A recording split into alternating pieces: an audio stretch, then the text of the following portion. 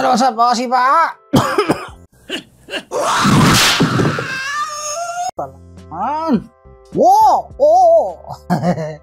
so, magandang araw kung ano mang nakarating o gabi man nakarating sa inyo ang ating vlog. Bali, this time, yan naman tayong uh, bagong uh, bike check from uh, Velocity Bike Shop. so, yung nakaraan kasi napadala tayo. So, yun na rin. Uh, sinamantala natin yung pagkakataong uh, pag-bike check ng isang uh, tawag dito, budget bike na 29er. So nakikita ko nga SRP nito is naglalaro sa mga 11 or 10. So depende sa shop. Ano? So you can always use our uh, ang tawag dito, magic word kay uh, Velocity, yung Vekinimin, uh, Velocity for a discount. Ano? Sabi mo na, sabi, uh, Boss Velocity, Vekinimin, maka-discount tayo dyan. So, ganun, no? Malay mo naman, di ba? Malaking bagay din sa panahon natin dyan, mga pa 200, 200, pa 300, 300. Mali mo, baka 1,000, bigay sa'yo, dis, ba, makabawas-bawas ka, di ba? Tapos malayo, nang galing, malayo pa pinanggalingan mo. Malaking bagay sa atin yon So, so again, I will be more on the visuals of the bike. Ano, no, di naman tayo masyadong technical, alam tayo, bike pasok, bike sa uwi. Eh, hindi naman tayo masyadong, ah, masaya na tayo pag yung bike natin, eh, walang maingay-ingay, walang problema ayos na yun. Kapag may problema, punta sa mekaniko. Hindi tayo masyadong nag-aaroon the technical side. Pero meron naman tayo mga vloggers dyan ha, na maayos pagdating sa technical side. Si uh, The Science of Kapadjak, ano, at saka si, syempre si Idol Master J ng Bike Check PH. So more on the uh, deeper side of the technical, ano, tayo naman, eh, pa, dito ganto-ganto lang. Pitik-pitik. At least, may siguro somehow it might help you na makapag-decide na rin sa itsura ng bike. Ano kasi halos lahat naman ng angle pinipitikan ko para hindi ko lang may masyado may paliwanag na malalim-lalim. Ano, di naman natin babaklas yan kasi di naman akin yan. eh, nakikipitik lang tayo, babaklasin ko ba yan? So, yun lang, ano, sisimulan na natin. Ito si Zonix. Bagong bago siya sa market. So much for the intro, napahaba at so, Zonix. so, yun nga, ano, more on the visuals. Tsaka, syempre, kapag may mga hindi ako nabanggit, na pwede nyo i-clarify kay uh, Velocity. Alam, alam ko, entertain, uh, nag-entertain naman ang kanilang channel at saka yung mga contact numbers na binibigay sa na binibigay nila dun sa page nila.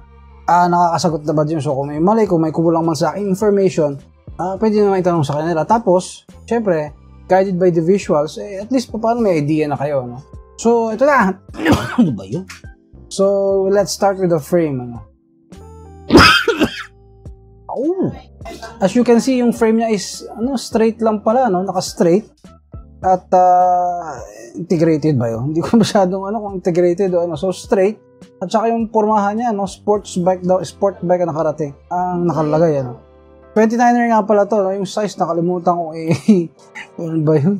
Oh, nakalimutan kong masilip, ano? Pero 29er bike siya at nakita naman yung astig, yung pormahan niya, astig, ano? At uh, dito naman tayo sa kanyang fork. Naka-Zonix din yung brand ng kanyang fork at uh, sus- syempre sa ganyang price range siguro naka-coil lang yan. Ano? So yan, coil type na suspension fork. Pagdating na naman sa drivetrain, naka 3x8 siya ang kanyang drivetrain. So ayan ah, uh, ano nga ba yung brand ng RD? Hindi ko makita. Ang brand ng RD ay uh, ewan, ano ba yun? So, di ko makita. Ito naman tayo sa kanyang cockpit. Naka RSX ang kanyang uh, hydraulic brakes at saka ano ba yun? Ayun, no? So, ang haba ng kanyang stem, parang pwedeng i-negative. Sa mga mahilig mag-negative-negative dyan, parang pwedeng i-negative yung stem, ano? Sa saddle naman ay, ayan, meron pa siyang, oh, saddle din yung pangalan, eh, no? Literal nga naman, eh, no? Sa saddle is saddle. Ngayon lang ako nakakita ng ganito. Yung brand ng saddle ay saddle ano? Pero ayos naman nakako naka ano naman yung kulay dun sa kulay ng frame ano? Ayan saddle at pinindot ko lang ko medyo malambot. At may kasama siyang tools may kasama siyang tools. At yung pedals niya ayan may mga allen wrench tsaka kung anong, anong combination dun ano? So frame na yun kasama na yun dun sa tires and rims, ayan, naka 29er siya. Napitikan natin yung uh, ipin ng tires para makita nyo kung saan kayo uh, proper usage ng tires, ano, kung saan nyo may feel yung tamang gamit ng tires. Ayan.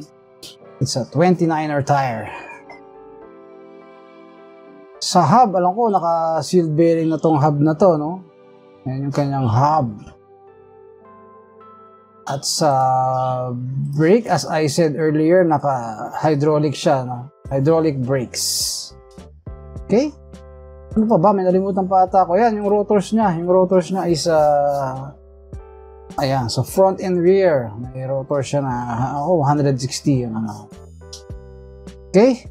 So, again, yun lang, ano, that will be all for now, mga kasipa. At uh, syempre, pipitikan muna natin yung buong bike para mas lalo nyo ma-appreciate yung uh, itsura ng bike. Ano, kasi syempre, iba naman talaga yung nadadala ng picture-picture lang, tsaka sa may uh, konting video. No? So, in-import natin ng pitikan. Medyo naaral ko pa kasi yung tamang pitikan dyan. No? Bagual lang tayo sa ganyan. No? Tingnan natin kung ma-appreciate nyo or something. No? Comment naman dyan. Baka yun naman yan. Nakakomment kayo kung ano pang dapat natin improve sa sa shooting, sa ano pa, no? i-improve natin yan. Unti-unti, di naman tayo nag, na biglang eh, biglang sikat. Eh, tayo naman, eh, kahit ilang taon natin yan, gagawin natin yan. Hanggat may sumusuporta sa atin, tuloy-tuloy lang yan.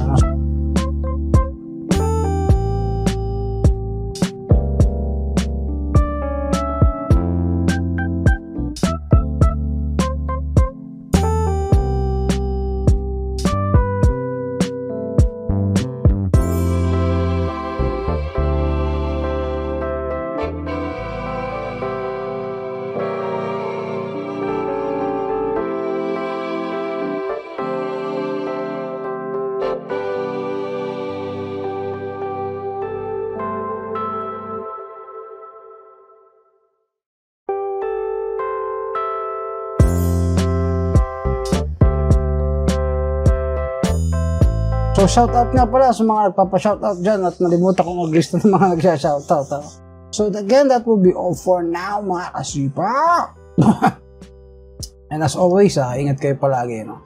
Ingat in the sense na, syempre, lagi tayo, lagi tayo nagbabike. Ingat sa pagbabike.